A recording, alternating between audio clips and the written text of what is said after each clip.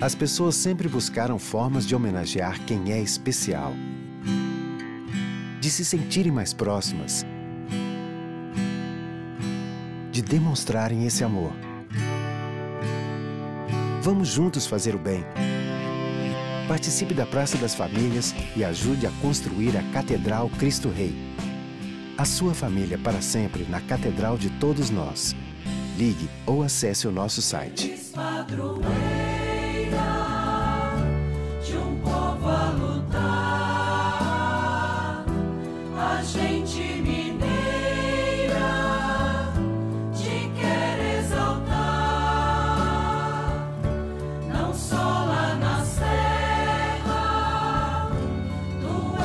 Amado irmão, amada irmã, saúde e paz. A alegria da fé fecunde nossa comunhão, congregados aqui na comunidade orante nesta hora, por graça de Deus, ao redor da amada Mãe Maria.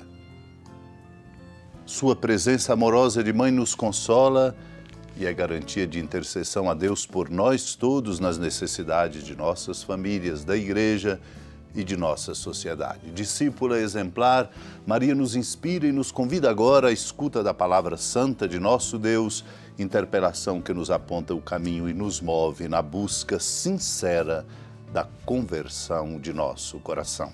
Vivamos este momento renovando o desejo de sermos tocados por esta palavra santa que nos sustenta no caminho e nos dá sabedoria. Naquele tempo disse Jesus aos seus discípulos: O filho do homem deve sofrer muito, ser rejeitado pelos anciãos, pelos sumos sacerdotes e doutores da lei, deve ser morto e ressuscitar ao terceiro dia. Depois Jesus disse a todos: Se alguém me quer seguir, renuncie a si mesmo, tome sua cruz cada dia e siga-me.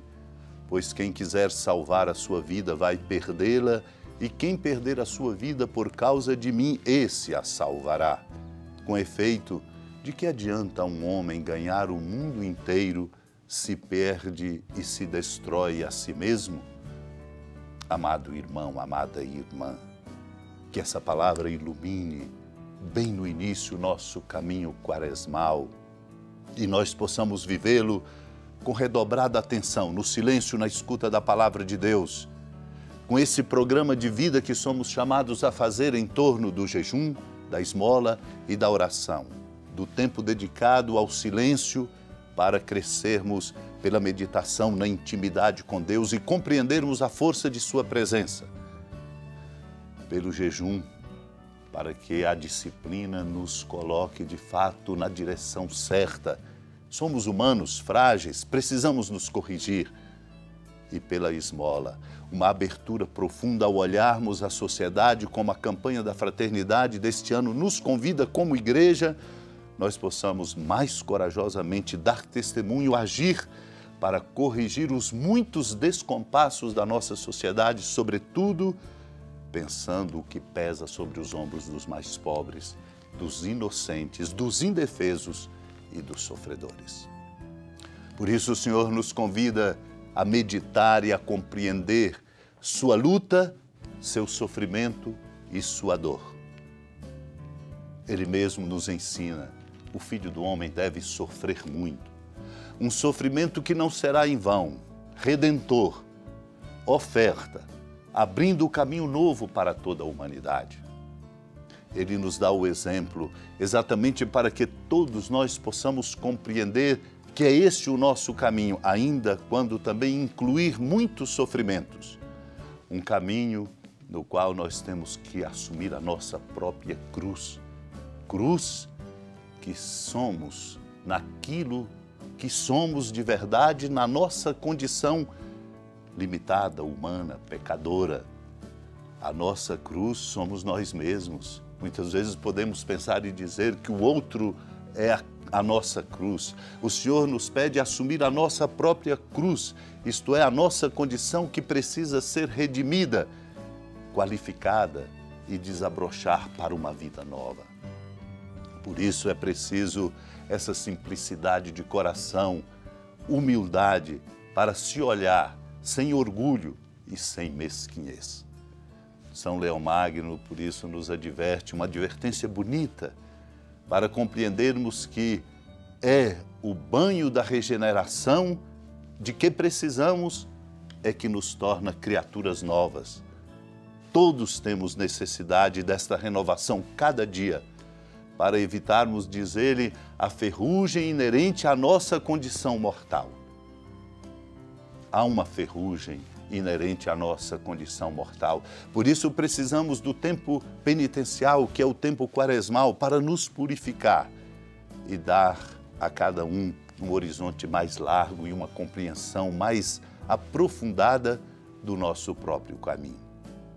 Portanto, não há ninguém que não se deva esforçar para progredir no caminho da perfeição. Por isso, todos devemos empenhar-nos para que no dia a dia desse caminho, especialmente desse tempo da quaresma, cada um de nós possa superar os próprios vícios, as dificuldades e nos qualificar humana e espiritualmente. São Leão Magno diz e compartilhe com seu coração. Por isso, aquilo que cada cristão deve praticar em todo o tempo, deve praticá-lo agora com maior zelo e piedade, para cumprir a prescrição que remonta aos apóstolos de jejuar 40 dias, não somente reduzindo os alimentos, mas, sobretudo, abstendo-se dos pecados. Deus nos ajude a investir e a nos qualificar por esse caminho penitencial.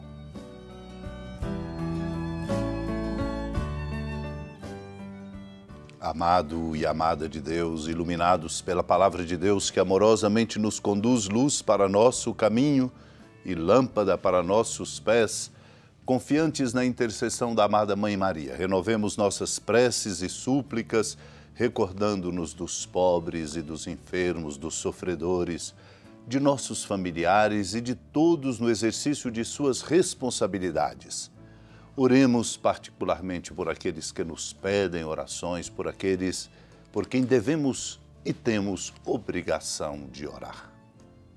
Senhora da piedade, Mãe Virgem do Cristo Deus. Lembrai-vos, ó piedosíssima Virgem Maria, que nunca se ouviu dizer que alguém daqueles que, tendo recorrido à vossa proteção, implorado a vossa assistência e reclamado o vosso socorro, tenha sido por vós desamparado.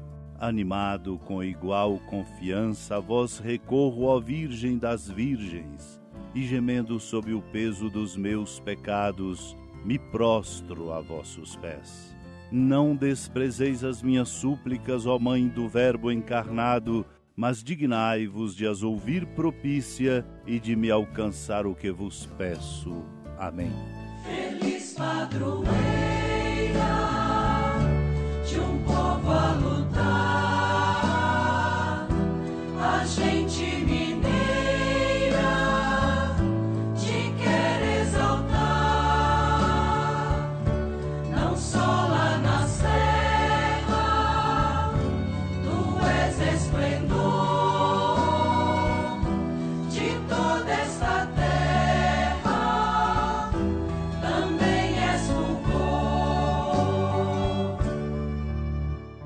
alegria da ermida da padroeira do Estado de Minas Gerais, a Senhora da Piedade, que da sua casa de clemência e bondade nos acompanha e nos abençoa do alto da serra, magnífica arquitetura divina, a bênção de Deus, amor misericordioso. Pai, Filho e Espírito Santo desça sobre sua família, sustente sua vida, fecunde o caminho missionário de nossa igreja, nos encha de sabedoria e permaneça conosco para sempre. Amém. Feliz padroeira